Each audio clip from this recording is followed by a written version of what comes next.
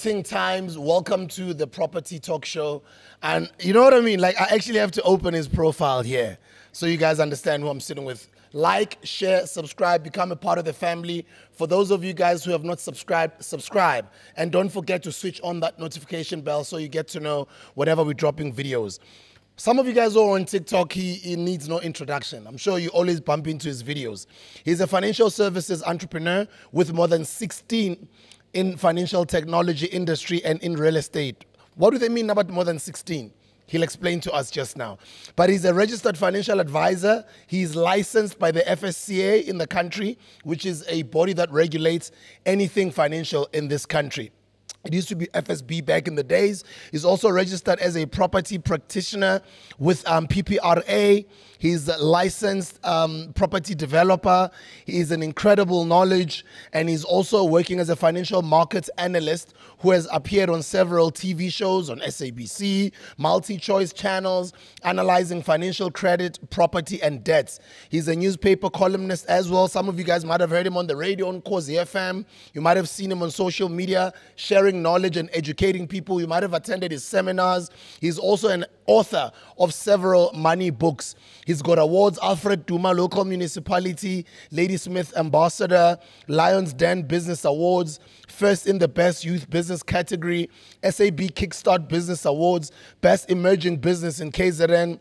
Umyezane Business Awards, Best Young Entrepreneur, Umyezane Business Awards, Best Emerging Business, Future Leaders Awards, Best IT Leadership, Smart Exchange Business Awards, IT Leadership Awards. His resume is too long, guys. I can go on and on and on. Wealth management, his Moonstone Business School um, qualifications, financial markets and instruments, hedge fund academy, Foundations of Financial Markets, University of Pretoria, Real Estate, NQF Level 4 and Level 5, South African Real Estate Academy, Bitcoin Certificate, Virtual Currencies, University of Pretoria. Sure, sure, sure, sure, sure, sure. Guys, it's very long. Like, I'll just have to cut it here. But I'm just excited to finally sit down with him. I'm one of his fans. I follow him online. I learn a lot from him, and I decided I think there's a lot for us to learn from him on this property talk show, but I think he also needs to become a friend of the show because of the vast knowledge that he possesses. I think there's a lot we can learn from him. Ladies and gentlemen, please welcome Putsiboniso Mtshali. Sabona baba Mtshali. njani baba ngikhona injani mpilo ah ku-right 100% sibusisekile mfowethu ah thanks welcome to our property talk show which is proudly brought to you by ekasi noble property development i'm brand new in the property space. I'm learning. I follow people like yourself and i kind of felt baningi abantu okuwukuthi they watch our podcast whom i think um, might be interested to learn from an incredible person like you. Yes thank you. And ngiye ngacabanga ukuthi namhlanje maybe let's make it a property beginners masterclass. Masterclass basically condenses as much information as possible into one hour. Because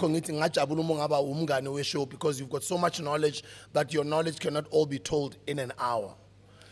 Mhlawumbe before just a summary ukuthi ubani uphuma kuphi and how did you get into um ukuthanda ukukhuluma alright um igama siboniso mtshali uh, all the way from KZN uh, based in Durban now.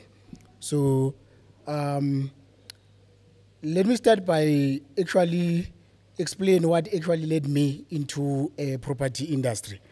All right. Um, and as well as financial industry. Obviously, after finishing matric, I didn't uh, go to university the following year. So I joined the insurance industry. So I was busy in terms of insurance sales and earning commission and stuff until I get something that can help me to finance my studies all right. But at some point, there was a time where everything was starting to go well in terms of business, and um, uh, things started to go south. And uh, I was evicted by umastandi wami ngaleso sikhathi, understand? So I remember when I was sitting outside with all my uh, furniture and black plastic, everything put inside, and I said to me, you know what, uh, this is not on. I want uh, what I call property ownership. So from that time, I decided to join one of the big real estate companies uh, in South Africa just to learn, to absorb the systems in terms of um, working as an estate agency. At the very same time, I was also enrolling for uh, level four and five in real estate, of which I've done successfully. All right. So when I was inside the industry, uh, I saw that more especially our people do not understand most of the things that now I get to absorb inside the industry. All right. So that's that's that's how I started to grow into uh, property development, just to diverse because property and real estate is very uh, big and a diverse industry. Understand? But on the other side, what led me to uh, to go back to insurance investment industry because uh, by that time I was already out focusing in the technology sector, but uh, simply because of like making good money but failing to manage it properly. That led me to study wealth management. Okay, the purpose was to manage my funds and the business in a proper way. But at the end of the day, I found myself um, loving uh, talking about my experiences um, in terms of how I, I actually mess up financially. And uh, the only way that actually drive me to financial success was becoming a loyal student of money. You know, growing up knowing that sometimes even going to church, you get things like money is the root of all evil, you know, you have that conditioning that uh, automatically uh, makes you to repel something that costs money. So it makes you to decide every now and then when you got money, you must make sure you take decision that helps you part ways with that money as fast as possible so that you will actually be in the right stand with God. You know, all those things were actually upbring, upbringing or something that were actually conditioning my mind when I was growing up. Right, so that is when I said, you know what, uh, with our people in the townships and rural space, we have this mentality of seeing money in a negative way. And that alone is one of those, uh, what I call money rejection complex that we actually apply unconsciously because of the upbringing conditioning that we, we have. So that is why now we are passionate about teaching people about property opportunities, teaching people about how to better uh, manage their monies and make even more comfortable.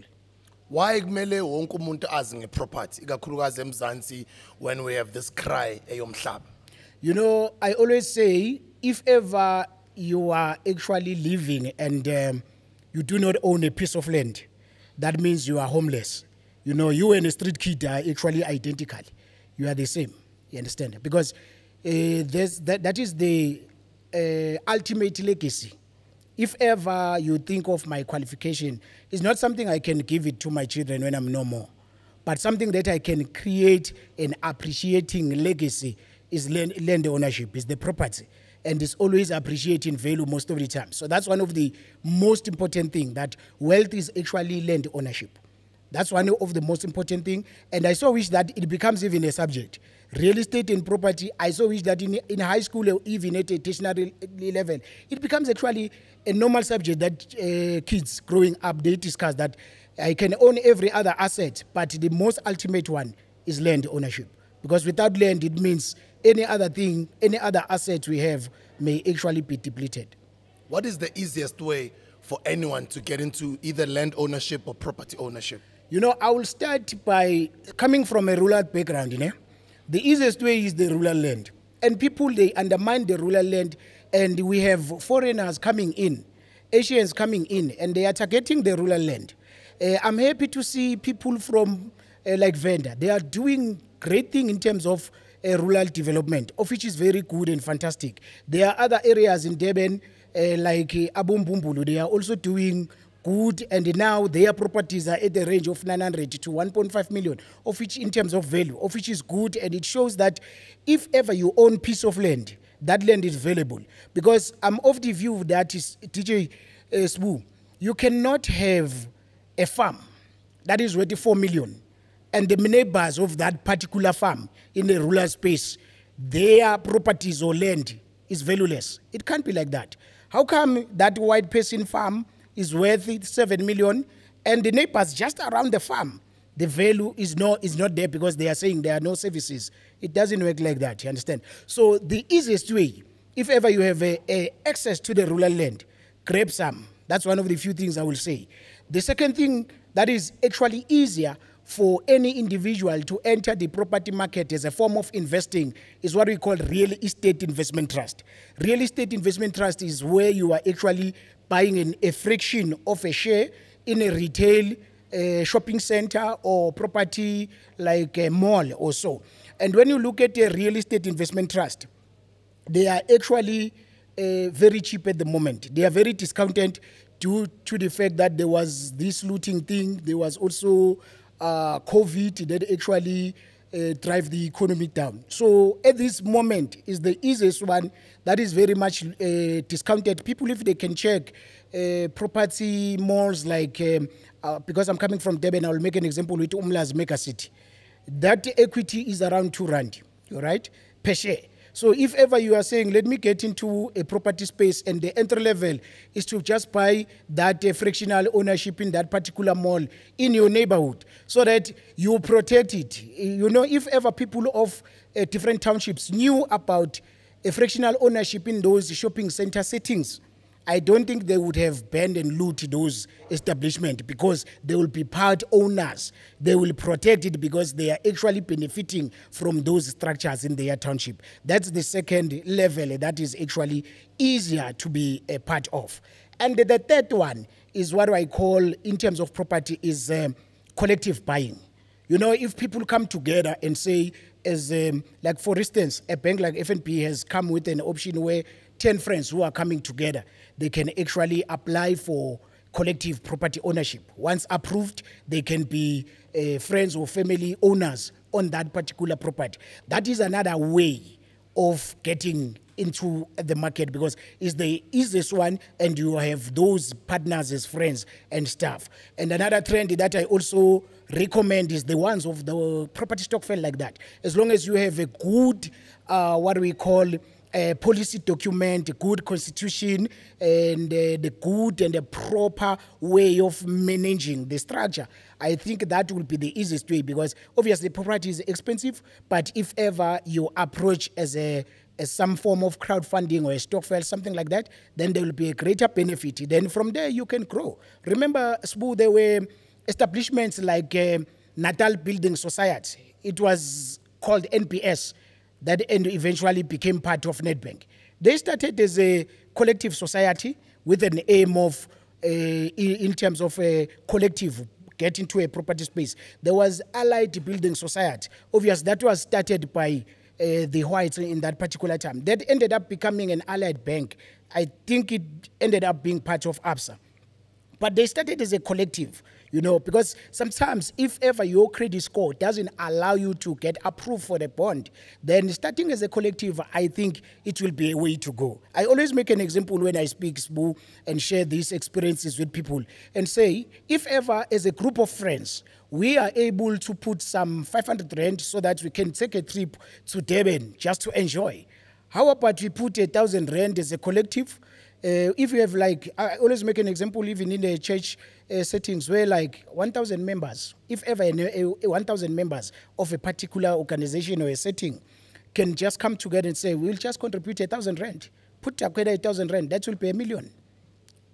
That is the power of the, uh, the, the, the crowd, whereby you have a certain vision and there's enough money for everyone in this world. It's a matter of people, when it comes to every other thing, they can come and be collective. But when it comes to creating assets and building, I think they need to be sensitized so that they will actually start to think even in those matters and say, yes, you know what, we can actually blow a thousand rand smoking or drinking and having fun, of which is not a bad thing. But how about in the next following month, we actually collectively put together a thousand rand as a group of like 500 people, that is half a million. So if you do that constantly, eventually you can be able to be in a position to buy maybe a downtown property, even cash. You start from there. That is uh, what we call like fractional ownership or group ownership. You start from there and grow. Obviously, you need to be guided by good policy document and constitution. But it's one of the few things that I always encourage that if ever you are to get into a property market, sometimes it becomes easier if you get as like like as a as a as a, as a tribe where like with your scheme or with your team, something like that. That is what we always encourage because it becomes an easier way of getting a certain piece of ownership. Then you can grow from there as you understand and get some experience within the property ownership space. And then yeah, because it's an interview from time to time you'll speak and pause so Yeah. that I come in. I don't want you to feel like you have to keep quiet. I just want you to go on because Yeah. I want us to pour out as much knowledge as possible when I'm for it. because Yeah. mina ngiyakulandela ku social media nawuqala nje uvula umlomo Yo. I'm already glued. And I don't want to uh, but in limit you. So Yeah. this is a platform where we are teaching. It's an educational platform. So as much knowledge as you think on this episode abantu kumele bayizo as i was saying guys it's not going to all happen on this episode. He will need to come back multiple times. The amount of knowledge that this man has it's an ama- he's amazing. And engiyithandayo ukuthi he even teaches ngesizulu you know? He's not one of those people that forced to teach in english. He'll speak in your vernacular language but he will simplify the information which is what i love how you you are passionate about teaching and you are passionate about helping abantu i think that's your purpose that's your calling unkulunkulu ukubizele la emhlabeni ukwenza umehluko ngalo lwazi onalo and thank you for using all these platforms to share your knowle- knowledge wena mfowethu Great. You know, when I was evicted, actually I was evicted two times, ne? And because I was actually failing to keep up with the rent. I told myself that it's a painful experience. You know, you know, sometimes when you are actually outside there and your problems are public, it's actually humiliating. But I told myself that from now going forward, I will absorb every information and knowledge in terms of property ownership and I will share because sometimes I, I am of the idea that when you have information, you must not die with that information. The people, be, be, one, one of the few things between the rich and the poor is just the access to information. You know, if you think of someone who is a, actually a billionaire and owning a mine, that person actually had an access to information in terms of how do you go about uh, accessing the uh, getting into the mining industry. Another thing engifuna ukuthi eh, ngi-emphasize uh, for those uh, first time people who want to get into a property because we are focusing on that one today. Uh, I, I- must also accolade the government, more especially the Department of Human Settlement. They've come up with a program called, it was previously called FLISP, ne? Now it's called uh, First Home Finance. It's for people that are earning from 3.1 to 22,000. So it's a grant, it's a property grant money. You are given that money, it means it's just a gift uh, so that you can be able to uh, mitigate things like down payment cost. Some people, when they actually approve for a bond, they, they don't understand that there are actually hidden costs in terms of buying uh, property, things like attorney's fee, registration costs, deeds office costs, or sometimes down, down payment. So the first uh, the first home finance, it's one of those things that we also uh, say a big shout out to the government for coming with that scheme.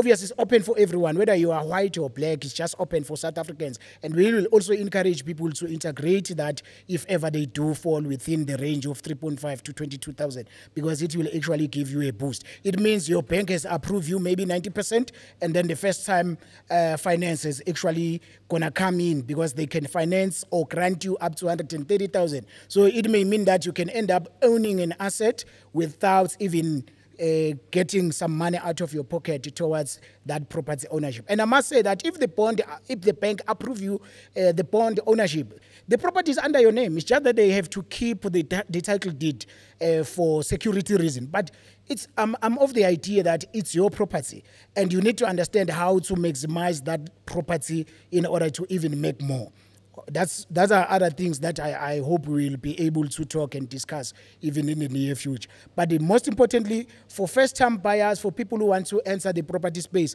I will always emphasize this book. Land ownership is ultimate. So if ever even you are no more, the land that you own, the piece that you own must not just be the piece of your grave, but it must be something that you can leave for your generation so that they can also continue. That's what other people have done in the past. When you look at other property structures here in the CBD, you can see that maybe the people who started and the ownership has actually passed that property maybe to the second uh, generation or even to the third. So in that way, the structure is there, rentals is coming, then that's, that's how it must always go with each and every one of us. I love it when you talk about rentals. Now let's talk about rentals.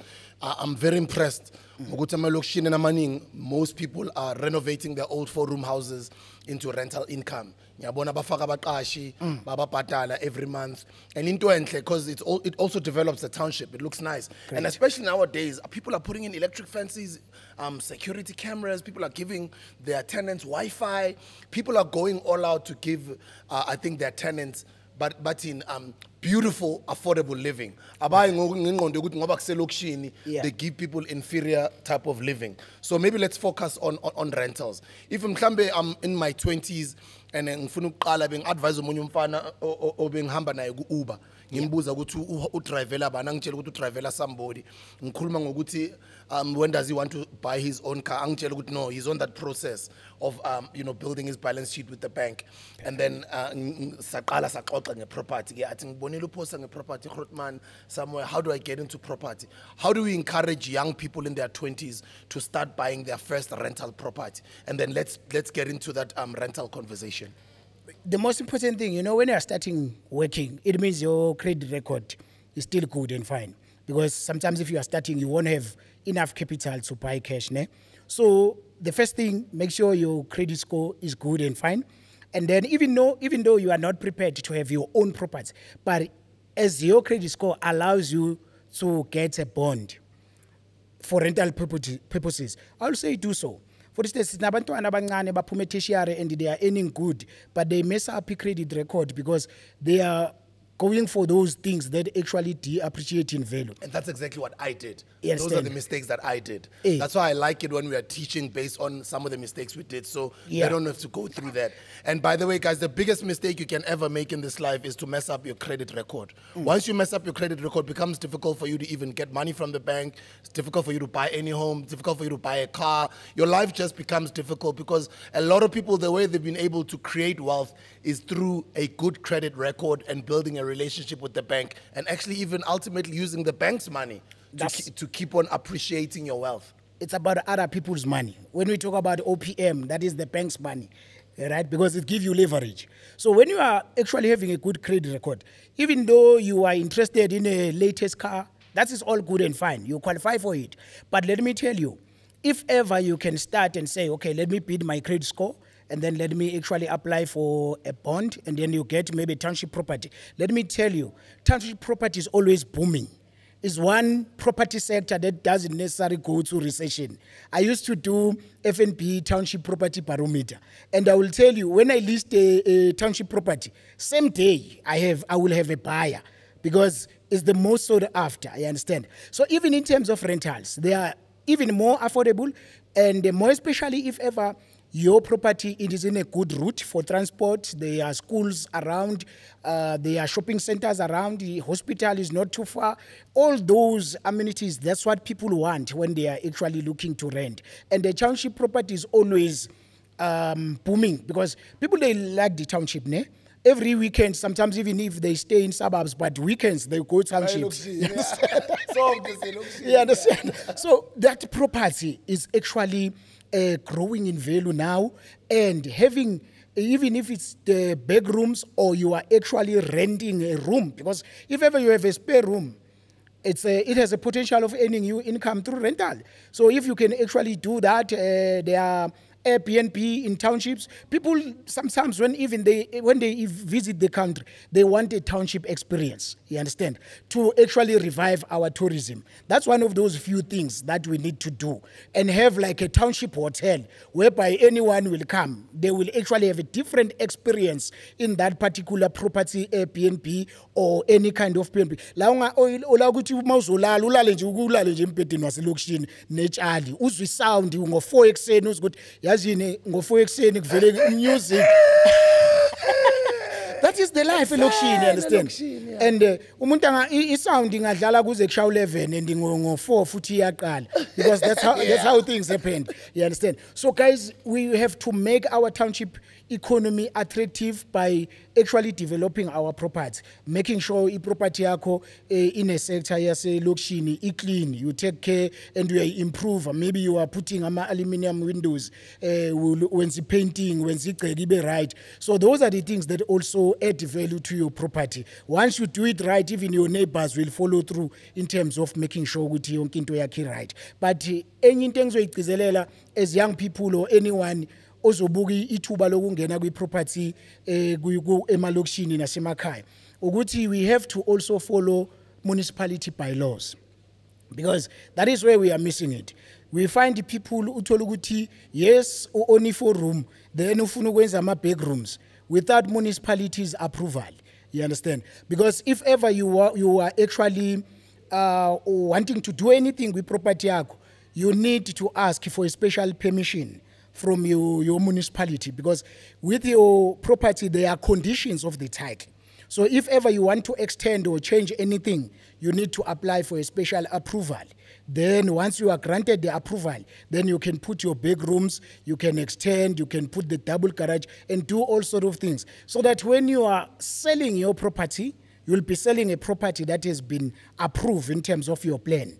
You understand? Because sometimes uh, when municipality look at your property, it's a is that a old two two room house. Yeah. But you've improved it into a four bedroom and there's also double garage. But with a, uh, with a town planning and land use management under municipality, it still appears as a two, two, two bedroom instead of the current four bedroom that you've actually developed. So you will have an hindrance if ever you are planning to sell because it will actually be v- valued based on what is within the town planning and land use management under your municipality. So we also need to respect the bylaws so that the our properties will actually attract true value all the time and every time. So we've touched on rural property, township property. Sisha qaba qaba ngamafu. We will keep on, you know, uh, emphasizing on these topics on later dates to come. For now, I want us to go into property stokvels. Yes. All right. That's one of the few things, uh, Sbu, that I always integrate and encourage because that's, that's a collective economy. You know, in South Africa, stokvels makes around 50 billion a year, you know, and uh, we consume like 14 to 18 billion towards, uh, towards uh, food consumption in December alone and then we consume about around about 30 and above 30 billion towards alcohol during festive season alone. Last year we spent like 215 billion in one month Yo! towards consumption. You Last know, year, December. last year December, 200 billion 215 South Africans. South Africans. True, So that includes traveling, tourism, and all those sort of things. So in South Africa, if stokvels combined, more than 800 uh, stokvels, you can check with Nasasa. If ever collectively they put together like 50 billion, and when you look at um, structures like um, big supermarkets, some of them are worth 27 billion.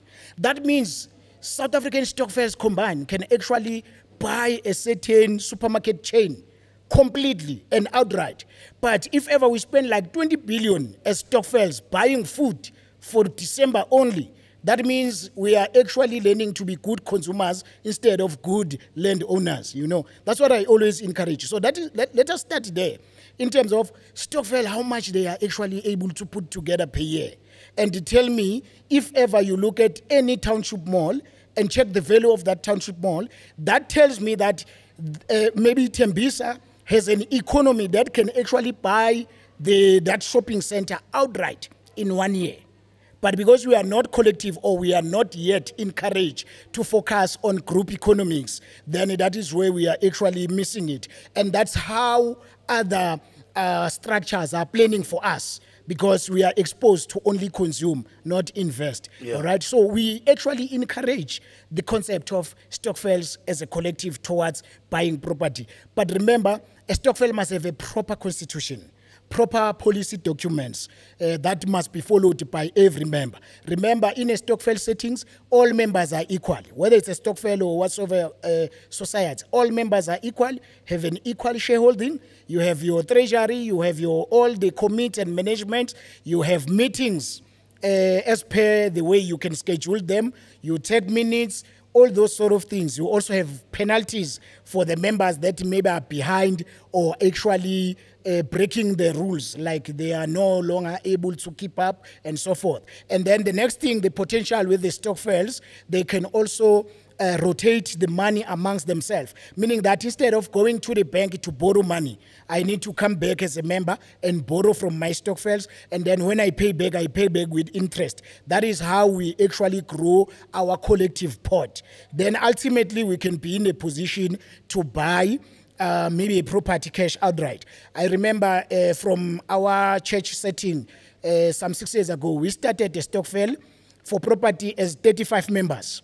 And uh, in six months, we were able to buy the first apartment for 280. And then we developed that apartment, we subdivided for rentals. The rentals that we were supposed to be getting is like 4,000. But because we do multi rentals, we are able to get uh, 12,000 as a student accommodation every month. All right. Uh, two and a half years later, we were able to buy the second one. And it takes us two and a half years to break even, meaning that to bring back the money that we've actually spent buying the structure. And the structure is also growing in value because we are actually taking good care of it and we are actually making sure that we preserve the value. You see. So it means every two years we are able to buy a property cash, we meaning that we hold title deeds. That's what we actually do as a collective. So even for an individual who was actually uh, maybe a street vendor, but because you are now part of the collective, you are able to actually benefit uh, from rental income you are able to benefit from dividends that we do as a society come the end of the financial year. That's what we encourage. But as an individual, you may not be in a position to do it. But as a collective, at least you have set your foot in and then you will be able to progress. Come five years to 10 years later, you will be far ahead than if you have not started. That's what we encourage group and collective economics. That's what will actually make us, as township people, as black people, to be in a position to be able to take some ownership, one piece of land at a time, but progressively we will get to there. That's what I will always emphasize and encourage all the time. How big is the stokvel industry in the country? For now, it's uh, at uh, an infancy. It's starting to grow, but uh, it's not yet there because people are actually not exposed in terms of how to actually craft the constitution and the policy document that actually pertains uh, the collective and group economics. That's one of the few things. So it is still at an infancy, but you can see the banks are actually seeing that people are actually doing things now as a crowd. That is why they've positioned themselves to set up stokvels accounts. So you can come and say, okay, you are coming as a committee that has been nominated, you submit your, you submit your constitution, and then they can actually open a stokvel account for you as a group, and then they will also help with doing financials for you. So when it comes the meeting time and the uh, um, reporting financial report uh, meetings, you actually get everything combined the cash flow, uh, the balance sheet, and all those sort of things you are able to, to actually present accordingly because that transparency is also needed. So it's a growing environment that we always encourage all the time. And uh, if you see uh, people like Asians, when they come in, they do the same method uh, in terms of buying those uh, downtown structures. Then they change it, they call it like China City, China Plaza. But they do that as a collective. So that's one we also uh, encourage for us that as, as people from township and rural space, as a collective, we can do something other than being consumers of people coming out to establish establishments in our settings and we again become their consumers. That's how we need to shift our mindset and paradigm.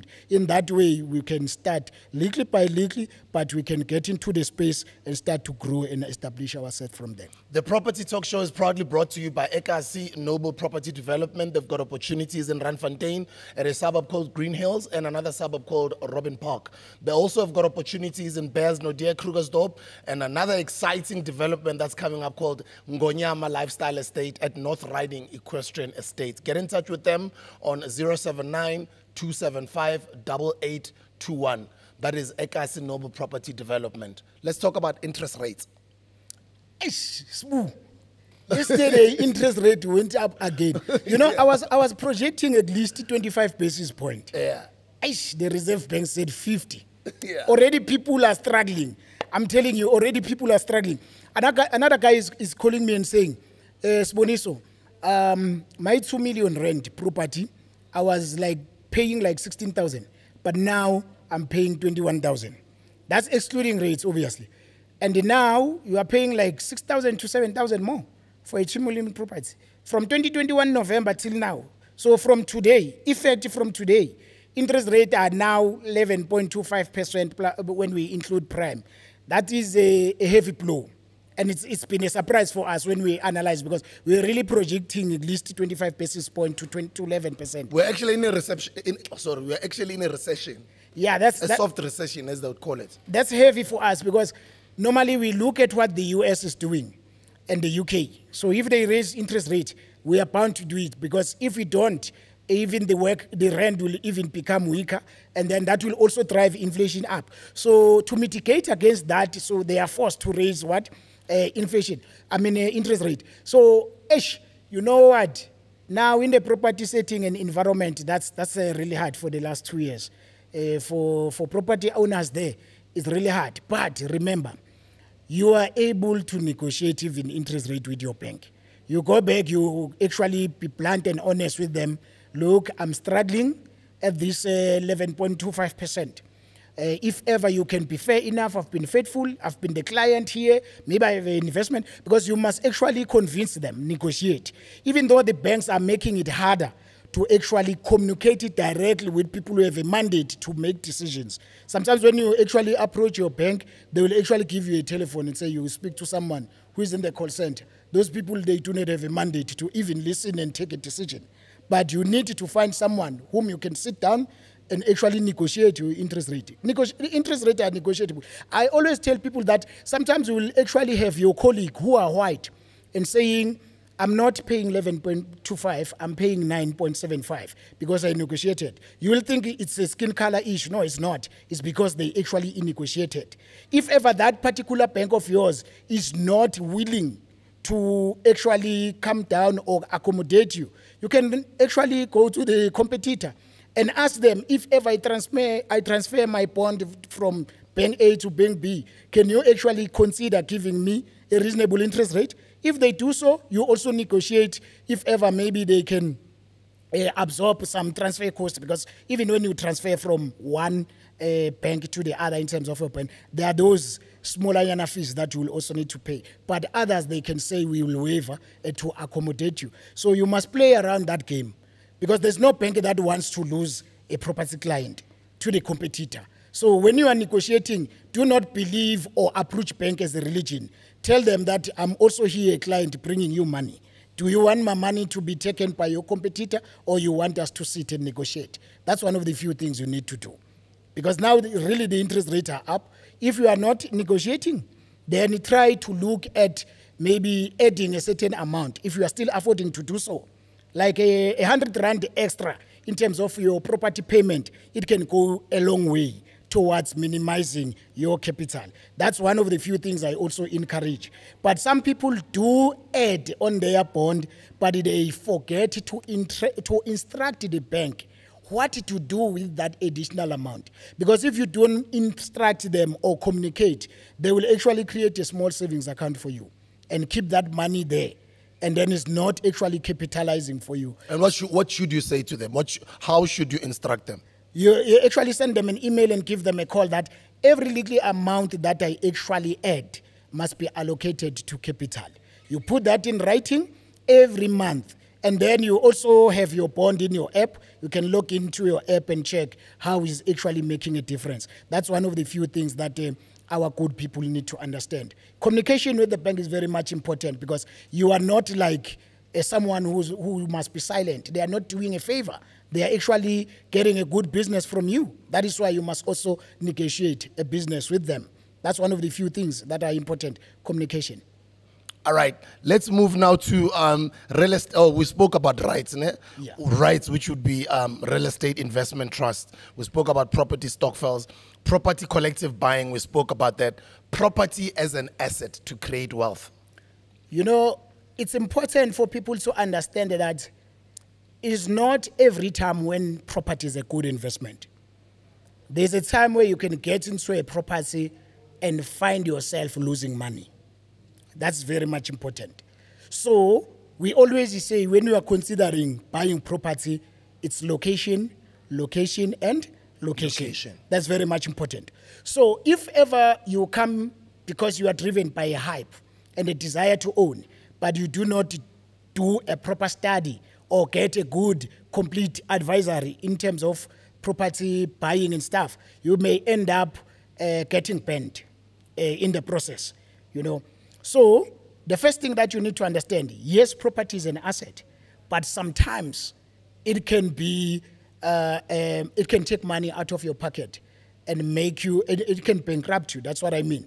So, when you are buying a property, maybe let's say it's um, obviously an affordable property, but there is actually a vacant land around where people may create mkhukhu or, uh, you know, those uh, street people can just come and commit crime. That will actually drive the value down instead of driving the value up. So, when you are looking at the area, uh, check even the level of crime, all right, around that area. Check the level of uh, municipal services. If ever that area is not attended to, is not well serviced, it may not attract value towards your property. So that, uh, that is an instance where property cannot be a good investment, where it can actually make you lose money. The second thing you need to understand, you can buy property with an aim of uh, renting it out. And you'll find yourself that maybe you've, you've bought in a building that is already owing rates and all those sort of things, meaning that you didn't do proper study, you didn't even check financials, audited financial for that matter before you even buy. But uh, coming to the uh, understanding of looking at the property as an asset, you need to know that every time property is not necessarily a house. Property is land. A house is more like a tattoo on your body. All right. What is registered at the deeds office is actually what? Is actually the land, the size of the land, the conditions of the title, what you can do with that land, what you cannot do, the zoning of that particular land. That is the actual property. All right. So now what you do in that property can determine the value going up or the value declining. Okay. So property is always what I call an asset if you build it to be an asset. But if you do not understand it as an asset, it's not. For instance, if I buy a house, then and stay, it's not necessarily an asset because it's, actually, it's me who is actually spending money. All right? But if I buy a property and then I start to rent it out, then that is where it's becoming what? An asset because it's bringing me money. But if it's ever it's just my house and then I'm staying there, it's, it's more like a liability because it's not bringing me money. And even if it actually rise in value, come 20 years, you've actually completed paying your bond. You need to calculate that for a 600,000 uh, property, you will actually pay like 1.3 to 1.4 million in 20 years. Because for the first 13 years, you are more like paying interest. And then from there, you will be starting to attack the capital. Okay? So even if your value of your property is at the range of Uh, 1.5 million after 20 years, then you also count the cost of owning, how much you've paid already in the 20 years. Then in that sense, is no longer what? An asset because you were paying money, it was not bringing in money. It's only an asset if ever I'm setting up something that I can rent it out. It can be rentals, it can be bedrooms, it can be parking, it can be any other thing that has to do with land and any structure that can be created in that land for the purpose of rentals. Then, in that sense, it's an asset because it's bringing money. But if your property is actually bleeding you money, it's not a, an, an asset, it's a liability. That is the difference you need to know. Because some people may just jump in because of the hype, because they want to own property for the sake of owning property, not looking at if this pro, I, if I own this property, how is it going? Excuse, how is it going to generate me some cash and all that stuff. You know, that's one of those few things that people need to understand: uh, property as an asset. Can I buy property without a single cent in my pocket? Yes, you can. You know, like for instance, obviously you still have to pay um, the bond repayments. For instance, there are banks that can actually give you what we call 100% bond. All right, that means I've got like 100% from the bank, but I still need to cough a little bit in terms of down payment cost, like registration fee, attorney's fees, and all those sort of things if ever you manage to get a grant, that means you will have property ownership without buying, I mean, paying a cent. That's one of those few things you need to understand. And then you can get into the game. Obviously, you'll start to be paying bond repayments, all right? There are other complicated strategies, obviously, um, whereby you can try, but you need to start and do your homework to understand how can I go about um, uh, uh, do this thing that um, no money till down. You know, there were instances where people can actually uh, uh, put uh, the offer uh, with um, maybe 60 days. All right? Offer that will be valid for 60 days. It means if ever I have a 500,000 property and then I put an offer and I have 60 days, all right, to get the funding, whether from the bank or raise funds for that. All right, so in that 60 days, that means that uh, sale is pending. And if ever I can get an investor who can actually come in with me towards the, that, that, that, that, that property, I can get into that property with other people's money. Those are investors that I can come in and have a joint uh, partnership and say, look, I have this offer standing. I've put an offer, but I'm, I need 500,000 more. Even though the property is 500,000, but because now I have an offer in place uh, that is standing, and that will actually be non-existent if 60 days come and I'm not able to realize the funds. You know, sometimes you can work on the things like that. There were instances where people put an offer and try to also market that particular uh, property at a higher rate. All right, meaning that you can make some smaller nyana money, of which is the difference. If you look at um, uh, property platforms, you can see one property listed for 500,000 and the next property, same property listed for 700,000. It's because someone is trying to play the game in between. You understand? So that's one of those few things Is that allowed? it's, it's, it's not illegal. So meaning that I have a valid uh, offer in place that I've actually put, all right? But at the very same time, I will actually put it on the documentation that, uh, uh, because it's a suspensive clause, meaning that come the exhaust, uh, if 60 days exhaust, then the deal is off. If I'm not able to find Uh, an investor, if the bank is not approving me, the deal is off. So that's, there's nothing illegal there. When you are taking it to register at a deeds office, it will be like a double registration. On the same day, it will be transferred to SBU, and the next moment, it will be transferred back to me, and you are left maybe with 50, 100,000 after down payment costs. People have been doing that for quite some time. No damage. But people need to be aware as well, because sometimes there are also many other property scams that can make you like lose a whole lot of money.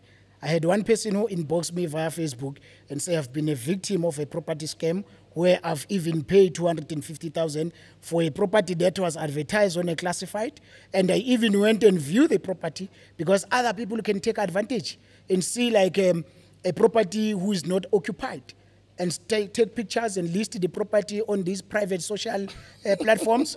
and you go there and you just say, no, this is the property, and they will also show you the property. Sometimes they come as if they are viewers themselves.